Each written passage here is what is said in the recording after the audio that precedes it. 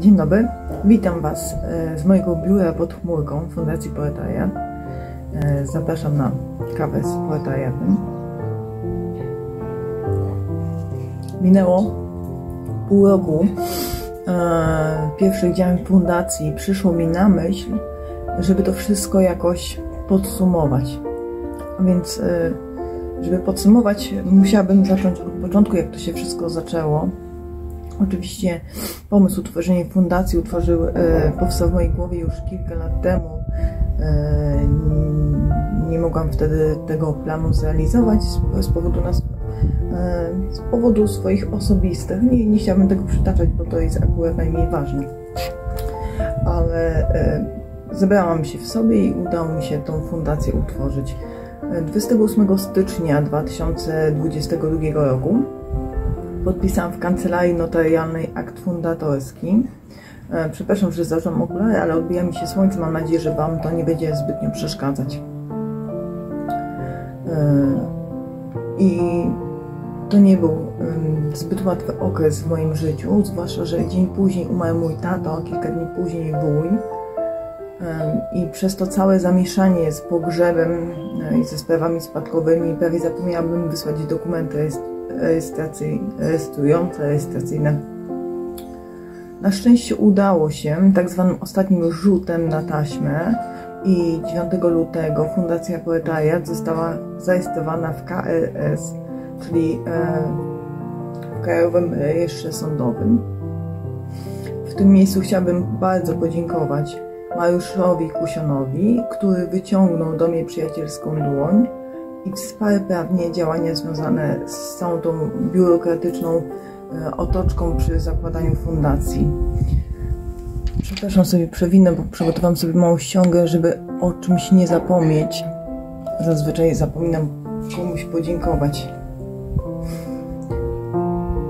Ogromnym wsparciem okazały się także opiekuńcze skrzydła moich e, zaprzyjaźnionych aniołów Moniki Krajewskiej i Wojtka Janisio, którzy e, tak naprawdę zapalali mi zielone światło e, dla moich projektów publikacyjnych i patronując i wykonując korektę, czy doradzając w jakichś różnych sprawach, czy to redakcyjnych, czy, czy innych. I przymykali tak naprawdę czasem oko na moje E, twórcze wybryki i Pragnę przypomnieć, że wzniosłam tę fundację na silnych filarach poetariatu, gdzie przez 7 magicznych lat udało mi się wydać prawie 80 publikacji książkowych, z czego 20 e, to publikacje zbiorowe, czyli antologie i roczniki. E, wśród tych publikacji zarówno są polskie, krajowe, jak i zagraniczne. I mimo, że fundacja jest młodą instytucją kultury, E, ma solidną historię książkową i kulturalną. E, podwaliny, które budowałam własną tytaniczą pracą. Ogromną rolę mającą wpływ na powołanie Fundacji Poetariat mieli także moi najwierniejsi czytelnicy, którzy popierali moje działania, wspierali dobrym słowem, doceniali e, docenieniem trudu i pasji, jakie wkładam w każdą książkę czy projekt kulturalny to także cała rzesza autorów współpracująca z poetariatem, stale lub epizodycznie, mm, którzy dumnie e, sami się nazywają poetariuszami, a poetariat traktują jak zakon, jak zakon e, twórczego pióra. E, dziękuję tym wszystkim i jestem naprawdę bardzo wdzięczna ze współpracy. Tak naprawdę dziękuję Wam wszystkim. Jestem ogromnie wdzięczna że wszechświat skrzyżował nasze twórcze ścieżki i że mogłam się przyczynić do e, spełnienia Waszych marzeń. Mogłam Wam pomóc e, w debiucie na scenie literackiej, e, zaistnieniu na rynku wydawniczym. Dla mnie to też jest ogromna radość. Czasem się wydaje, że jeśli autor wydaje książkę, to on żyje tym wydarzeniem i tylko on. To nie zawsze tak jest przynajmniej w moim wydawnictwie. Ja przeżywam każdą książkę, którą robię, każdy projekt i ja też tym żyję i dziękuję za to. Dziś uśmiecham się do siebie pod nosem, e, patrzę w lustro i mogę powiedzieć, e, jestem dumna z Ciebie Kapuścińska, dałaś radę. choć e, nie było łatwo, ale mało kto o tym wie, bo wiadomo, że widzi się tylko wierzchołek góry. I gdy sobie przypomnę, ile kłód e, tak naprawdę los rzucił mi pod nogi w osiągnięciu tego celu, e, które ostatecznie udało mi się pokonać z uporem maniaka lub ominąć, e, dzięki swojej wierze i wytrzymałości, choć inni wątpili i kpili i szczerze dawali mi to odczuć, nic to, ja robiłam swoje i Wam polecam dokładnie to samo. Przestańcie słuchać e, innych ludzi. Zapytajcie siebie, czego tak naprawdę pragniecie i idźcie po to. Ludzie zawsze będą się śmiać, zawsze będą drwić i kpić, e, ale możecie zadwić z nich, sięgając po ten swój cel wymarzony, czego Wam serdecznie życzę bo wiem, że no, nie jest łatwo. Ja też swoją ścieżkę musiałam przejść. E, gdy udało mi się pokonać jakąś przeszkodę, natychmiast wyrastała druga. E, kolejna i kolejna. A to kłopot ze znalezieniem banku, który zechciałby otworzyć, obsłużyć konto fundacji, a to kłopot ze znalezieniem biura rachunkowego, które zechciałoby czuwać nad rozliczeniami fundacji. Poważnie pukałam do wielu drzwi, mm, które i otwierano, i zamykano mi natychmiast e, na hasło fundacja. Czułam się trochę jak taka tędowata. Nie rozumiałam za bardzo tego zjawiska, ponieważ no, człowiek na coś się decyduje, chce komuś pomagać i wierzy w to, przynajmniej ma takie przekonanie, że inni też będą chcieli mu pomóc w pomaganiu innym, a to nie do końca tak wygląda. No ale musiałam się sama o tym przekonać. I bywał czas, że było naprawdę ciężko. E, już nie wspomnę e, o tych wszystkich e, dotacjach, pozyskiwaniu środków materialnych, grantach, jakichś zasiedleniach fundacji mm, i tak. Ten, kto chociaż raz przebrnął przez tą czarną magię papierologii, biurokracji, wie o czym mówię najbardziej mnie przerażały czy rozśmieszały, bo nie wiem jak to nazwać. Czasem po prostu tak reaguje mój układ nerwowy, że, że reaguje obronnie śmiechem. Te wszystkie załączniki do załączników po prostu rozłożyły mnie na upadki, e, ale szybko się podniosłam. E, z tego miejsca kłaniam się wszystkim, którym udało się przebrnąć przez te wszystkie procesy naborów i zdobyć fundusze. No, szapoba. Szapoba. Ktoś mnie ostatnio zapytał, jak ja to wszystko robię. Łączę dom, e, opiekę nad dziećmi, bo mam trójkę dzieci. Niektórzy myślą, że jestem e, dalej podlotkiem, panienką e, do wzięcia. E, nie, nie, nie. E, jestem mężatką z 20-letnim prawie stażem, mam trójkę dzieci, mam psa, mam dom, mam tak jak normalny każdy człowiek, jakieś swoje obowiązki domowe i zawodowe. I oprócz tego chciałabym się realizować jako twórca, więc czasem jest ciężko, nawet nie czasem, najczęściej jest bardzo ciężko to wszystko połączyć, ale udaje mi się, udaje mi się i ktoś zapytał, jak ja to robię. Nie wiem, jak ja to robię. Wydaje mi się, że jak ktoś robi to, co kocha, to zawsze znajdzie na to czas, a inne rzeczy mogą e, poczekać. Ja na szczęście mam przy sobie bliskich i to jest też taka kluczowa sprawa do osiągania sukcesów. Moi bliscy zawsze wspierają moje działania i działania mojej fundacji i utrzymują mnie w przekonaniu, że damy radę i ja im wierzę, bo tak powinno być wiem, że dam radę, a miło, miło jest po prostu, gdy oni też zauważają moje e, trudy, moje zarówno sukcesy i porażki, mimo to potrafią jeszcze podnieść mi skrzydła. Przez ten trudny czas udało się fundacji zrealizować mnóstwo ciekawych projektów, nie tylko wydawniczych, ale i kulturalnych. Chciałabym tu przytoczyć je wszystkie, bo są to moje ogromne powody do dumy jako fundatorki, prezeski zarządu fundacji, a także jako e, spełnionej artystycznie e, kobiety. Minął pół, minął pół roku od założenia i zarejestrowania Fundacji Poetariat. Dopiero uczymy się raczkować w świecie publicznym i kulturalnym jako instytucja kultury. Wcześniej Poetariat był inicjatywą twórczą. Dziś jesteśmy instytucją. Prawda, jak to dumnie brzmi?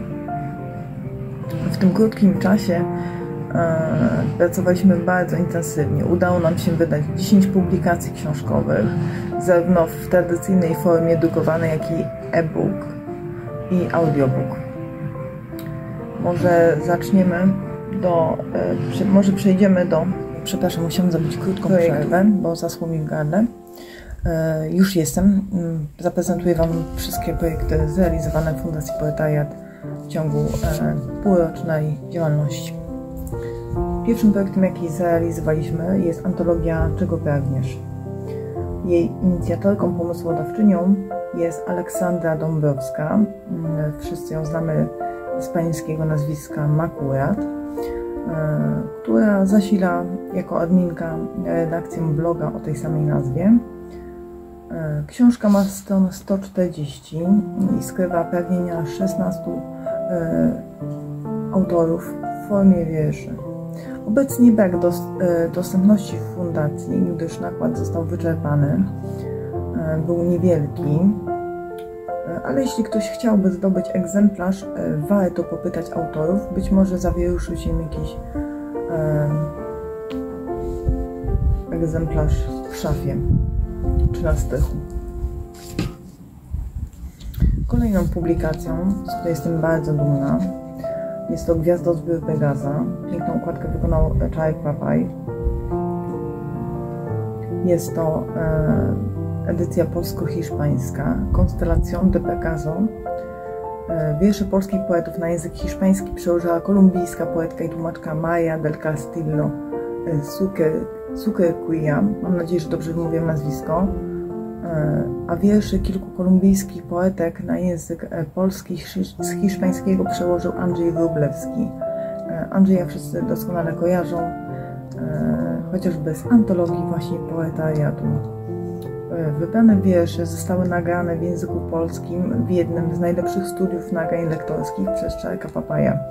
Linki do tych wszystkich, mm, do tych wszystkich nagrań umieszczę w opisie filmu, żebyście mogli sobie wejść i posłuchać.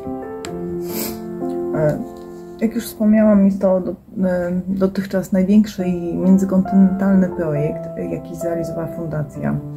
E, wziął w niej udział sześć wspaniałych poetek za oceanu, a dokładniej z Kolumbii, oraz naszych 30 fantastycznych polskich poetek i poetów, a książki pojawiły się na rynku kolumbijskim. Jeśli ktoś chciałby nabyć, zapraszam do kontaktu z Fundacją. Kolejną książką, e, którą udało nam się zrealizować z wielkim powodzeniem, jest antologia poezji turpistycznej, brzydkie wiersze. E, prawie 20 poetów zmierzyło się tutaj z toposem brzydoty, śmierci, deformacji i zła. E, poszczególne wiersze do posłuchania umieszczę w linku w opisie filmu. W tej książce tak naprawdę chciałam przetransmutować brzydotę piękną. I myślę, że mi się udało, bo mm, poezja tutaj zebrana jest naprawdę wyborna dla prawdziwego konesera poezji. Kolejnym udanym projektem e, są magiczne opowieści. Jest to zbiór opowiadań dziewięciu autorów, sięgających piłem spraw metafizycznych i zjawisk niecodziennych. Książka ukazała się w trzypaku, co to znaczy? E, w formie tradycyjnej, drukowanej, e, jak również w formie audiobooka, nagranego przez e, Czarka Papaja z Poezja ma głos. Link również umieszczę w opisie filmu. Tak, tak, tak to oto wygląda. Odchodzimy już od płyt. Teraz nagrywa się na pendrive'ach. Piękna okładka, piękne wykonanie. Kolejnym też takim audio projektem, e, pod którym tak zupełnie to nie wiem, czy możemy się podpisać, ponieważ udzieliliśmy jedynie patronatu, natomiast e, jeśli chodzi o ten patronat, to jesteśmy bardzo dumni z niego, e, gdyż jest to niecodzienny projekt.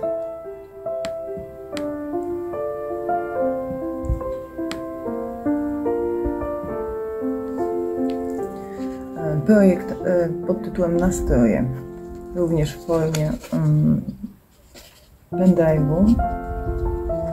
E, został e, ten audiobook został wydany przez Poezja Mogłos we, we współpracy przepraszam, ze studiem Otwarte.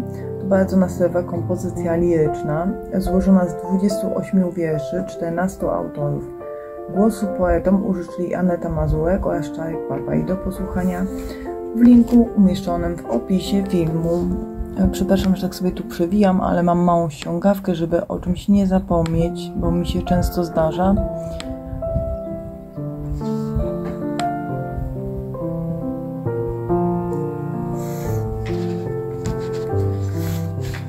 Mogliśmy się także przyczynić jako fundacja do spełnienia marzeń o własnej książce. I tak oto się stało, że Małgorzata Biela zadebiutowała na rynku wydawniczym swoją książką. Jest to książka, która łączy ze sobą i poezję, i prozę. E, bardzo udany debiut. Hmm. Gosie powinni wszyscy kojarzyć, ponieważ brała udział w antologiach poetariatu, zarówno tych dla dzieci, jak i dla dorosłych. E, w poprzedniej antologii poezji witalistycznej z 2021 roku, a także z tegorocznego rocznika satyrycznego pod tytułem Rubryka Satyryka, ale o tym będzie za chwilę. Książka dostępna e, u autorki. Można pisać i zamawiać. Bardzo serdecznie polecam. E, kolejnym projektem, z którego jestem mega dumna i mam ogromny sentyment, to jest książka dla dzieci. Książka z wierszami dla dzieci pod tytułem Gałganki. Autorem tej pięknej okładki jest Czarek Papaj bardzo zdolny nie tylko lektor, ale jako grafik. Polecam współpracę, jeśli szukacie. E, Czarka znajdziecie na stronie na Facebooku Poezja ma głos. Poza tym e, w opisie filmu także podam linki do jego innych stron. Gałganki to, e, jak już wspomniałam, jest to antologia wierszyków dla dzieci, której tematem były psoty, figle i gałgaństwa naszych maluchów oraz ich pupili. Publikacja okazała się, e, ukazała się z okazji Dnia Dziecka. E, jest to projekt cykliczny. Corocznie wydajemy z okazji Dnia Dziecka publikacje dla dzieci. E, w tym projekcie wzięło udział prawie 20 autorów. Wybrane wiersze zostały także nagrane przez Czarka z Poezja ma głos i są do odsłuchania w linku, który podam później. Jednym z ostatnich naszych projektów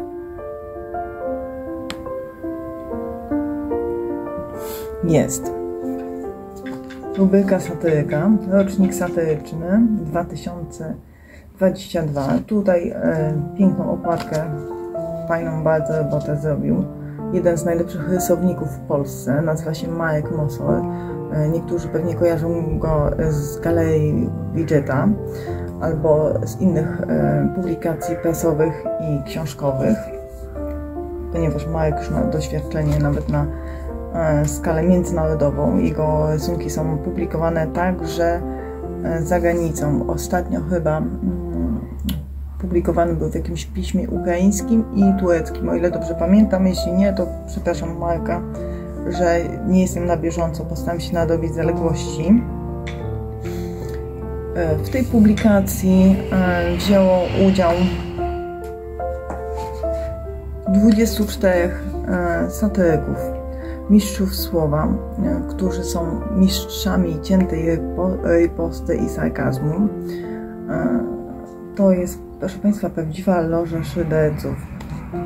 Książka do nabycia w fundacji bądź u e, wybranego autora.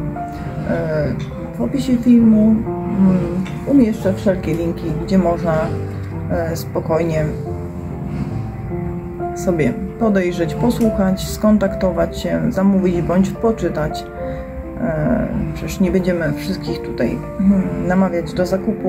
E, można poczytać na stronach takich jak Poetariat, można poczytać na stronie e, Rubaszna Strona Poezji, można poczytać także na stronie Tomikowo i Poezja na każdy dzień. To są blogi kulturalne mm, Moniki Krajewskiej, które odnoszą ogromne sukcesy czytelnicze. Jeśli tam nie byliście, to serdecznie zapraszam. E, jeśli z, z takich jeszcze udanych projektów,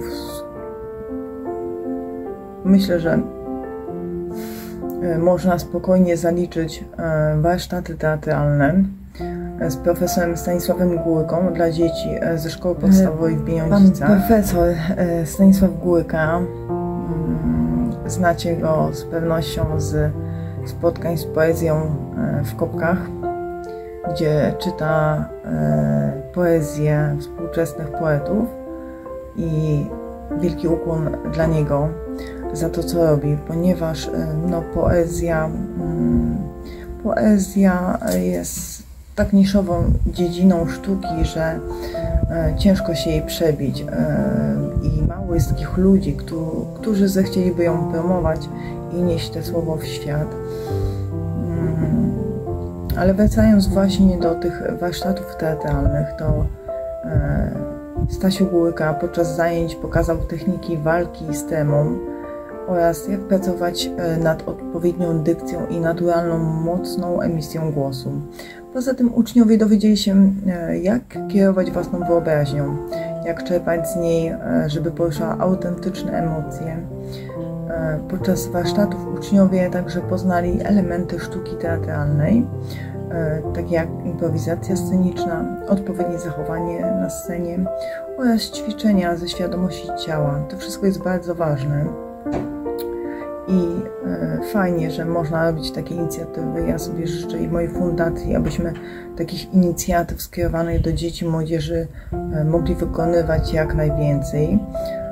Dlatego z tego miejsca też zapraszam i zachęcam wszystkie szkoły wieluńskie i, i e, nie tylko z gminy, ale także z powiatu do współpracy z fundacją w zakresie właśnie takich warsztatów, czy to teatralnych, czy literackich, bo e, z pewnością zawsze znajdzie się jakiś twórczy potencjał w szkole, który warto wypielęgnować, e, jakiś diamencik, który warto szlifować. Aktualnie realizujemy rocznik liryki miłosnej wierszowzięci, ostatni romantyzm, edycja polsko-francuska. E, mam nadzieję, że pani profesor od francuskiego mnie tutaj nie zje, ani e, Gisela Deliver mnie nie zbiczuje, jeśli, e, jeśli niepoprawnie wymówię, natomiast ja się nie posługuję tym językiem na co dzień i mam nadzieję, że wszelkie niedociągnięcia zostaną mi wybaczone. Że wzięci ostatni romantycy, Le Version Chanté, Le Derniers Romantiques, Taka, e, taki tytuł, tak tytuł brzmi w języku francuskim. E, przekładu, e, przekładu wierszy polskich poetów na język miłości, czyli język francuski, podjęła się wspaniała pedagog i tłumaczka e, tego języka, pani Danuta Sutka-Karykowska, której serdecznie dziękujemy. E, na stronie Wiersz o wzięci na Facebooku można przedpremierowo zapoznać się z twórczością e, oraz sylwetkami ostatnich romantyków. Prawie wszystkie zaprezentowane przez mnie publikacje dostępne są w fundacji. Aby zdobyć egzemplarz, e, wystarczy dołożyć cegiełkę do rozwoju naszej fundacji, robiąc e, przelew na kwotę 35 zł, numer konta i sposób, e, w jaki można to zrobić, również umieszczę. Pragnę też przypomnieć, że sylwetki autorów współpracujących z poetariatem można zgłębić na stronie słowemplecione.pl, gdzie można również posłuchać ich wierszy w wersji lektorskiej.